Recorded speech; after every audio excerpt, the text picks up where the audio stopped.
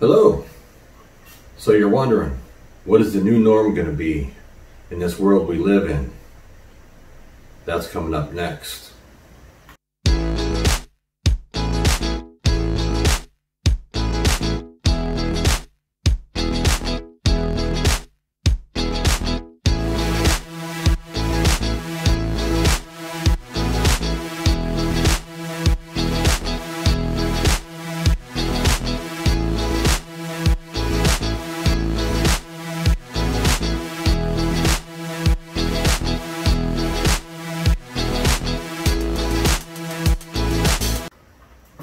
Hello, welcome to Survival Preparedness for Beginners.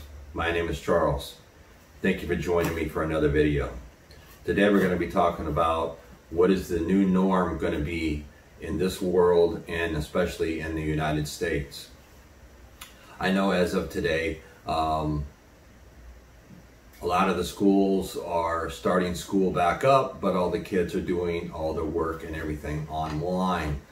Um, that does have it, has its benefits and its disadvantages. Uh, we'll start with the disadvantages first. Uh, the disadvantages are in this day and age, most of the time, uh, you need two parents working in the family to support the family and to survive and pay the bills. So now one parent has to be at home with their children while they are um, doing their school work, especially if they're younger students. Now, if you have teenage students and are trustworthy, um, they may be able to handle it themselves as far as making sure that they, you know, they do do their school work and everything that they're supposed to be doing. And, you know, in the fact of they can feed themselves. So they can make themselves breakfast, they can make themselves lunch. Um, the down, another downside is a lot of kids out there do depend on those meals. Um, it's a sad thing to say, but you know, uh, a lot of the population of the kids that do go to public or private schools, mostly public schools, um, they depend on those meals. Sometimes that's the only meals they get that day. so that could be a, a detrimental to the whole situation. But unfortunately, you know, there are a lot of, at least down here, they're trying to make sure that um, they deliver the uh, school meals um, like in a lot of the counties, they're using the school buses and they go to the, you know, their bus stops and they will pass out their breakfast and their lunch and snack so that they have those meals and then they can do their homework and not homework, but work from home on um, their computers. Now I know in the state of Florida, they did issue um, if students didn't have some way to um, participate in the online programs, they were issued either like laptops or like iPads and things of that nature. And that was only for the kids that didn't have a computer or an iPad or something that they could do their schoolwork from and that they could log in and uh, um,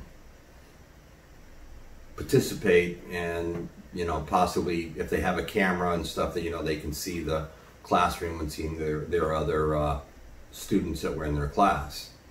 Um, another disadvantage to this is if it lasts too long, you know, you get, you get into the situation of, you know, the, the social distancing.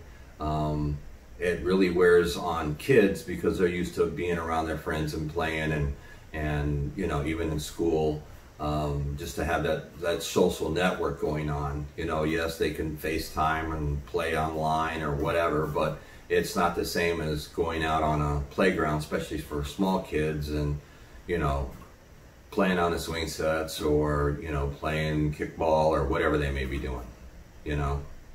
Um, another thing that it could be um, a downside to this is if this goes through and this works really well, is this what they're going to want to do from this point forward? And they may try to do away with going to school altogether. Now, does anybody know? Nope, You know, that's still that'll that's another million dollar question that'll come down the road. Um, I think it all depends on how well that they do on uh, taking care of this virus and everything else. Now, on the plus side, you know, for parents and stuff, um, one plus side to it is that they have their kids, their kids are in their home, their kids are safe, um, they control what their kids eat, they can be there and monitor and make sure that the kids are doing what they're supposed to be doing uh, as far as their schoolwork and, and those types of things. They can also oversee and help if they do need help right there on the spot. Um,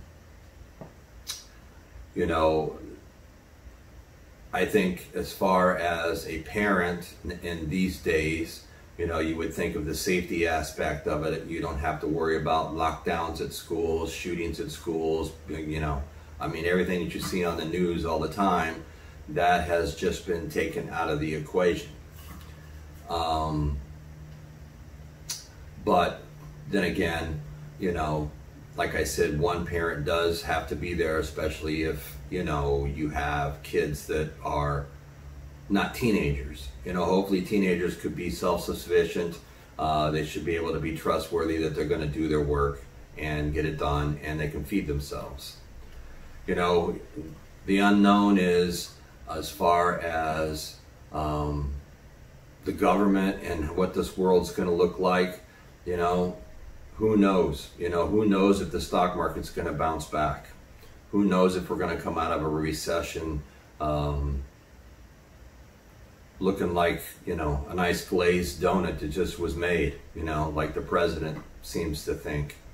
Um, there's too many unknowns, and if you listen to uh, the people that actually know what is going on, on even the president's team, uh, they're very um, drawn back on what he says uh, compared to what they see and what they say.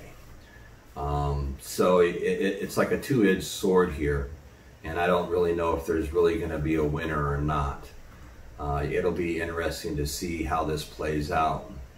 So to the fact of, you know, who knows what the new normalcy is going to be for our country, is um, long term. I would say it could be a difficult time if they cannot get a control on the bug. Um, hopefully, you know, they'll be able to get a, uh, a vaccine for it and uh, drugs that actually do treat um, the bug instead of using the drugs that uh, they have used for like malaria and stuff that they're all using now. now, you know, with that said, you know, if, if that drug will treat these people, you know, that's a good thing. Maybe we can save some lives with that. But as far as the normalcy goes, what it, does the future hold? Will we, you know, will the stores uh, be stocked up? Will the stores be ready in case this does come back around come next winter? Um, that's still another question that's up in the air. Will people be able to socialize and go out to dinner and go to a sporting event? That's still up in the air. You don't know. Um, maybe you'll find that a lot of this stuff will be um, like online uh, it'd be like pay-per-view. You'll pay to see something and they'll have camera crews and stuff there and like concerts and baseball, basketball games, football games, racing, whatever. And they still participate. It's just there's nobody there in the stands. You know, it's a possibility. We just don't know. The new normalcy could be totally different than what we're used to. It could be life-changing event. And I guess we have to sit back and kind of wait and see how this plays out. But I just wanted to bring a quick video to you today and uh, just talk about, you know, what could be the new norm for all of us, you know. Could be uh, life-changing events, um, out of the norm of how we are used to doing things, how we shop, Um, I think you may see, you know, more people shopping online and delivery service being a more better way and safer way to get your groceries and that type of things. Uh, you might, if that's the case, you may see your grocery stores almost close and go to warehouse delivery services. We don't know, but it is a possibility. Um, everybody's jumping on the bandwagon as far as delivering just about anything. So if this goes over very well, who's to say that that can't change the way that we do our daily business as far as, you know, uh, going out to eat, going to the grocery store, going to, you know, a clothing store, whatever. It'll all be brought to you in a secured way. I don't know. I guess we're all going to find out. We'll see. So, I'll try to keep you updated on this and we'll see how this goes. But my name is Charles. This is Survival Preparedness for Beginners. And until next time, I'll catch you all on the flip side.